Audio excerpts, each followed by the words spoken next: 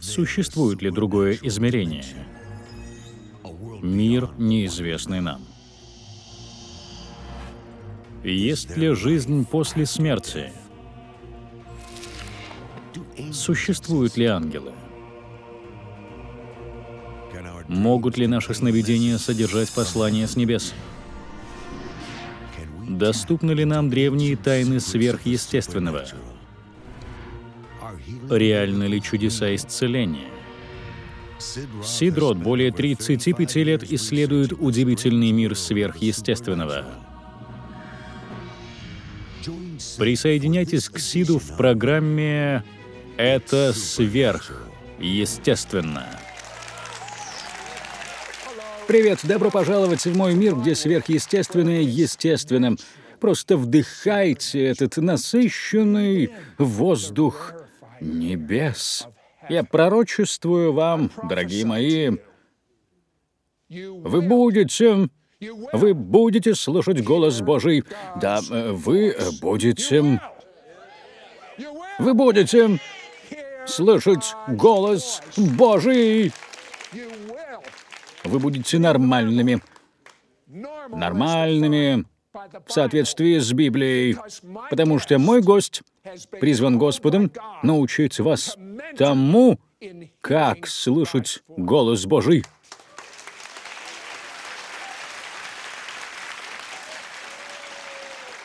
Когда мой гость, совершая поездки по стране, просит людей поднять руки, Сколько же людей регулярно слушают голос Божий? А сколько, как вы думаете, нет? Так вот, более 90%. В любой деноминации, где бы я ни проповедовал, более 90% людей не могут сказать, что регулярно слышат Бога. Итак, вы были в Баптистском библейском колледже, около 7 лет учились в теологических школах, а сколько часов вы изучали предмет «Как слышать голос Бога»? Э, такого предмета не было. Был один учитель, говоривший о том, что в Библии есть четыре места о голосе Божьем и о том, что их неправильно трактуют. Якобы те, кто утверждает, что слышат голос Божий, нуждаются в помощи специалистам. Ну а он, кстати, был профессором психологии. Вот такие мнения сегодня. Назовите мне профессию, где самоубийство на первом месте. Ой, нет, нет, не будем об этом. Позвольте мне задать э, такой вопрос. Э, вы прочитали книгу, в которой написано, почему говорение на языках осталось в прошлом, и что с этим сделали.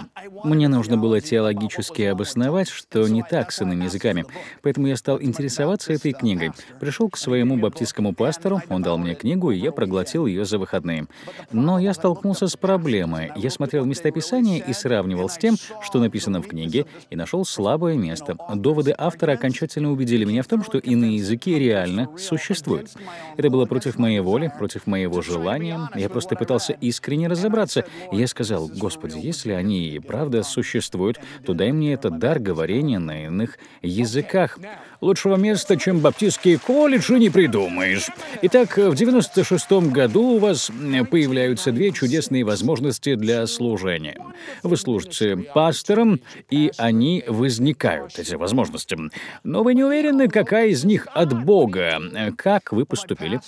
Мой пастор и наши лучшие друзья сказали мне, что слышали от Бога о том, что я должен остаться. А я подумал, они просто этого сами хотят. Откуда я знаю, что это им сказал Бог? В то время я не умел слышать голос Божий. Тогда я помолился молитвой безумной для баптистского пастора. «Господи, если я должен остаться, тогда пусть с неба упадет гранитный камень». Я так помолился. Надеюсь, он не свалился вам на голову. Я рад, что Божий ответ был не таким. А следующий момент, вы знаете, иногда мы делаем безумные вещи. Но я сказал, «Господь, пошли кого-нибудь с улицы, незнакомого мне человека, который бы передал мне твои слова о том, что я должен остаться. И если хотя бы одна из этих вещей произойдет, я пойму, что это от тебя. Я, не задумываясь, останусь». И действительно, после четырехдневного поста я сказал лидерам своей церкви, что с сегодняшнего дня в течение года я слагаю с себя обязанности, что собираюсь использовать этот год для того, чтобы руководить служением, но собрать поддержку, и мне позвонила секретарь. Это было в четверг, когда я вышел из поста. А в понедельник утром мне звонит секретарь и говорит, здесь один мужчина хочет поговорить с пастором. Я вышел в холл и встретил там человека с длинной бородой, длинными волосами, запачканными руками, почти без зубов. Это старый битый пикап стоял снаружи. Он представился, чуть-чуть рассказал о своем служении, сказал, что Бог велел ему прийти сюда, чтобы поговорить с пастором. Я сказал, хорошо, чем могу вам помочь. Я подумал, что он сейчас начнет выпрашивать деньги для своего служения или что-то еще, но он сказал, я знаю только, что должен сказать вам это. Иногда я чувствую, будто Бог хочет, чтобы мы отправились куда-то, как, например, в другую страну. Если так Он хочет нас использовать, хотя в реальности Он хочет, чтобы мы оставались там, где мы есть, и это то место, где Он будет использовать нас, чтобы приносить влияние. Он начал плакать и сказал, «Я не знаю, почему говорю вам это, но Бог велел мне прийти сюда и сказать об этом пастору». Я пригласил его в офис. У меня были две вещи, о которых я впервые в жизни молился, и он дал мне ответы конкретно на эти две нужды. Он спел небольшую песенку, подошел ко мне, поцеловал меня в щеку и удалился. Здорово, но дальше было еще лучше. Восемь месяцев спустя этот мужчина, этот пророк, которого звали Сисл, вам позвонил, и что же он сказал? Он сказал, Бог дал мне слово для вас. Вообще-то он сначала оставил свою визитку, и я позвонил ему через неделю, но связи не было. Я подумал, что за странная штука. Если это был ангел, тогда зачем давать мне свою визитку и исчезать? Восемь месяцев от него не было вестей. А потом он сказал, у меня слово для вас. Он пришел ко мне в офис. Прежде чем туда зайти, он сказал пророческое слово для двух моих сотрудников, лежавших навзничь на полу в своем кабинете. Я знал, что это будет последний день работы, так как в нашей церкви не было подобных вещей. Я пригласил его к себе в кабинет, и он сказал, прежде чем я скажу то слово, которое Бог мне дал для вас, нужно поехать к вам домой помолиться за вашу жену. У нее сильные боли в спине. Я изумился. Откуда он узнал? Я также подумал, это было невозможно. Я ведь никому не говорил. Я проснулся около двух часов той ночью. Моя жена вздрагивала от боли. Она была беременна, и ребенок давил ей на седалищный нерв. В общем, я сказал, поедемте. Мы сели в машину и поехали ко мне домой. Он помолился за мою жену, повернулся ко мне и начал высвобождать божественное слово. В следующий момент я понял, что лежу на ковре в гостиной. Его посетил Святой Дух. Что в это время сделал э, Господь? Меня сразу открылось видение. Небольшое отступление. Как раз за неделю до того в моей молодежной группе был один подросток, который хотел поделиться своим видением, которое ему открылось, когда он упал от помазания. Я спросил его, может ли он показать место в Библии про падение от помазания. Он не смог вспомнить ни одного стиха. И я стал думать, ладно, если Бог хочет говорить кому-то через видение, это его дело, но почему-то он дал его не мне, лидеру служения, а одному из моих подростков, простому барабанщику группы группы. «Прости меня, Господь, за высокомерие». И вот я сам уже через неделю лежу на полу и пишу видение. Сначала я увидел ангела, стоявшего у моих ног. Он укрывал меня какой-то тканью. В этот момент Сисел сказал, «Этот ангел укрывает себя милостью». Как он видит то, что вижу я, подумал я в тот момент. Потом я увидел меч, который, вращаясь, падал с небес. Падая, он зацепил что-то, чего я раньше не замечал. Это была завеса. Он разрубил ее на две части, сверху донизу. Затем маленький, как бы я сейчас назвал, херувимчик, Тогда я не знал, как они называются. Это маленькое ангельское существо выглянуло из-за нее и сказала «пойдем». Я прошел сквозь эту завесу и увидел кое-что интересное. Посередине стояло что-то очень похожее на круглую платформу, над которой вращался шлем римского воина. И я смотрел на него. Он был трехмерным и таким же реальным, как эта студия. А потом я увидел звезду, сходящую с небес. Чем ближе она приближалась ко мне, тем сильнее я ощущал энергию, будто пульсирующую через меня.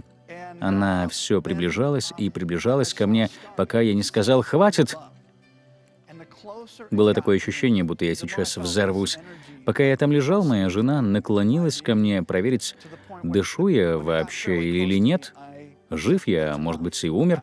Я приподнялся и подумал в тот момент, так, похоже, моему теологическому знанию о Боге пришел конец. А вот такое удивительное посещение было у меня от Господа.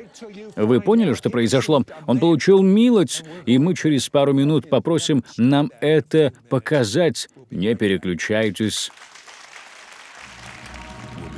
Это сверхъестественно. Если вы любите смотреть нашу программу, то сейчас вы можете смотреть сотни наших архивных программ онлайн, сколько пожелаете на своем компьютере, смартфоне, iPad или на вашем любимом планшете.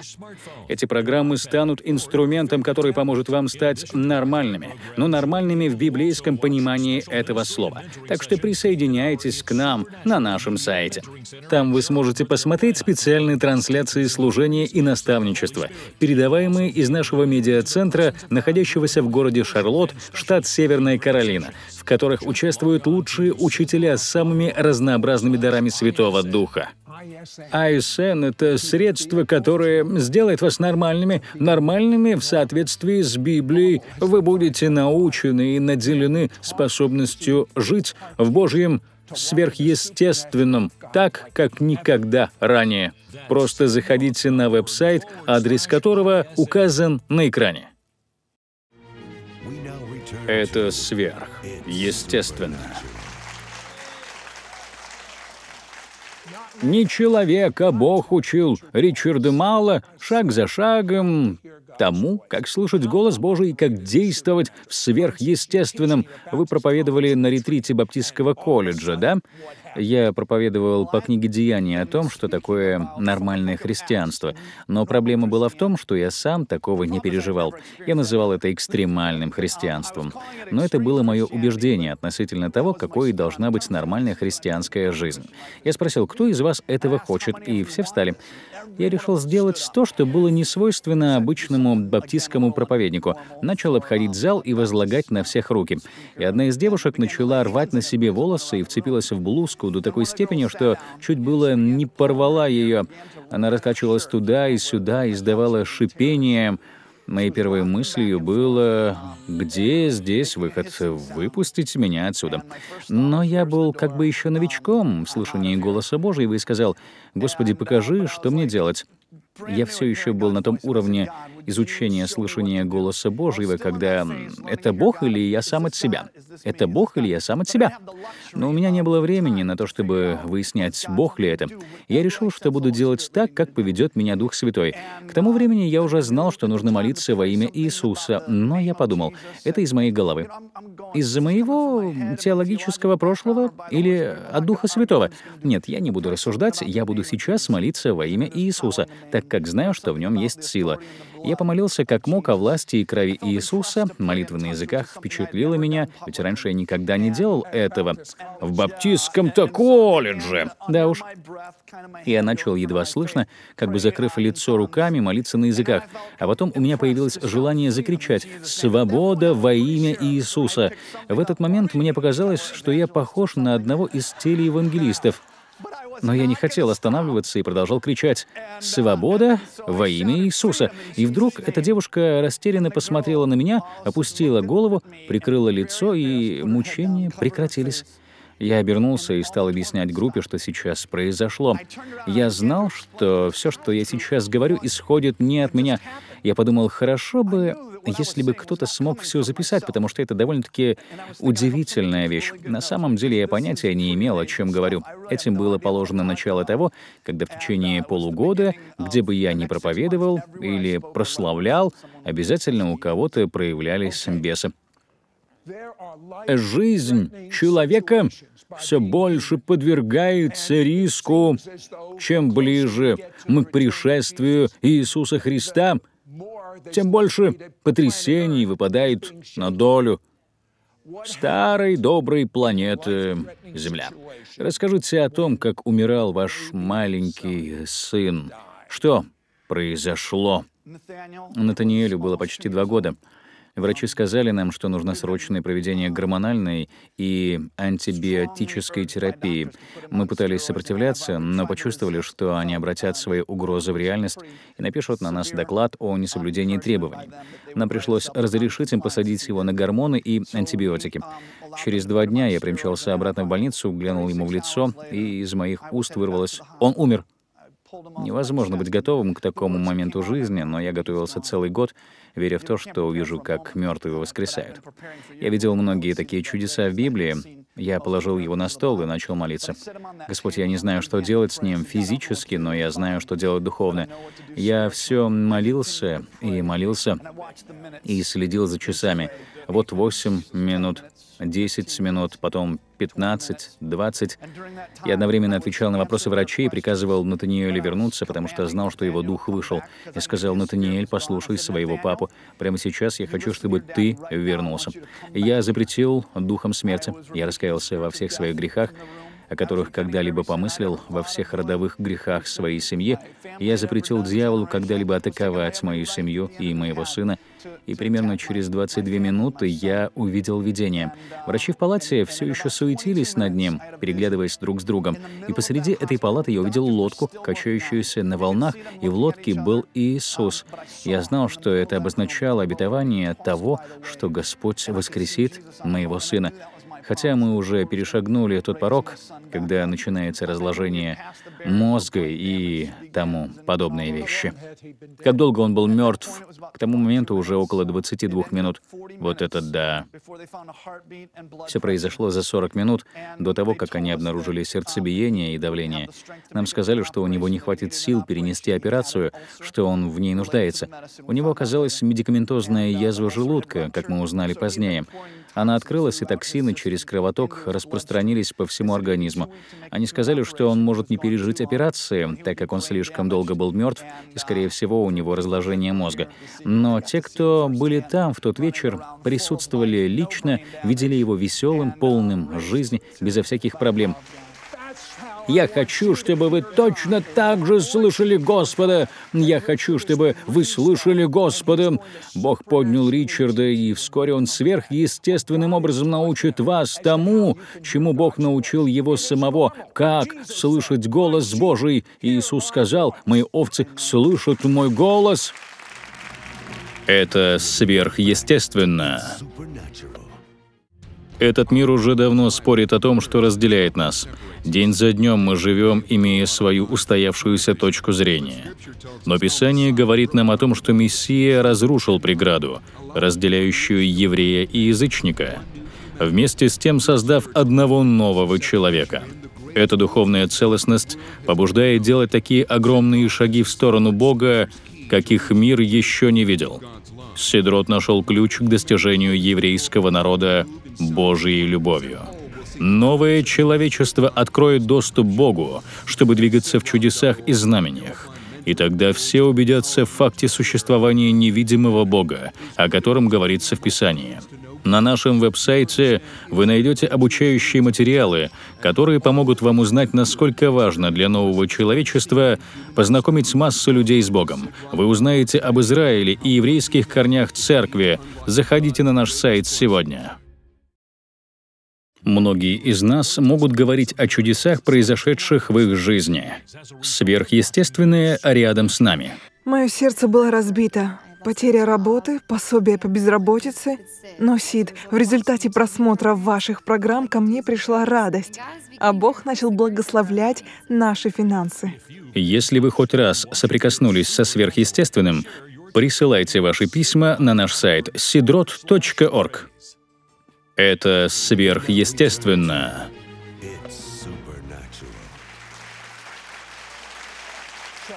Итак, Ричард, вы консультировали одного пастора, он был в браке 18 лет, но хотел уйти от жены и развестись с ней. Если бы вы не слышали голос Божий, он бы уже давно развелся. Ну, как вы думаете? Вероятнее всего, да. Расскажите нам. Было около 11 часов вечера в нерабочего времени, и я просил Господа быстро открыть мне суть. Я ехал в машине и просил Господа показать мне корень проблемы, и моментально получил ответ.